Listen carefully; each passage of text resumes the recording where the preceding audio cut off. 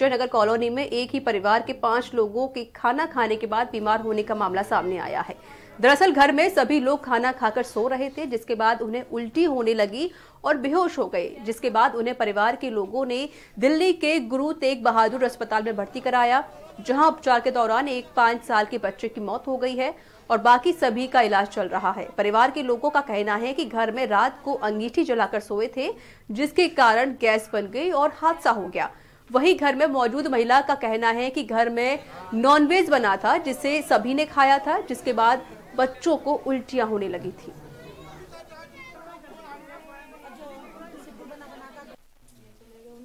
खाना खा के ये दोनों भाई चले गए हैं अपना गाड़ी में बैठने के लिए और ये इनकी फैमिली गेट लगा के सो गए। उसके बाद में जब ये आए हैं तो बड़ी बेटी ने इनका गेट खोला है। वो भी ऐसी हालत में नहीं थी गिरते पड़ते आई है।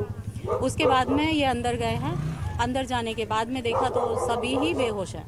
तो ये बच्चों को अपनी वाइफ को लेके गए हॉस्पिटल तो उनको उनको फिर वहाँ पे पलटी कराई है तो उनको होश आया उनको साथ में रात को ही ले आए हैं, लेकिन बच्चे अभी हॉस्पिटल में। अर्थला में रहने वाले बलराम नामक एक व्यक्ति जो कल रात में अपने बड़े भाई को स्टेशन पे पहुँचाने गए थे, करीब तीन चार घंटे बाद जब वो आए तो उनके घर में उनकी वाइफ और उनके चार बच्चे थे, वो अचेतावस्था में पाए गए, उनको हॉस्पिटल में एडमिट कराया गया और उसके बाद अभी बाकी लोग तो होश में हैं, लेकिन उनके एक बच्चे की वहाँ पे मृत्यु हो गई है।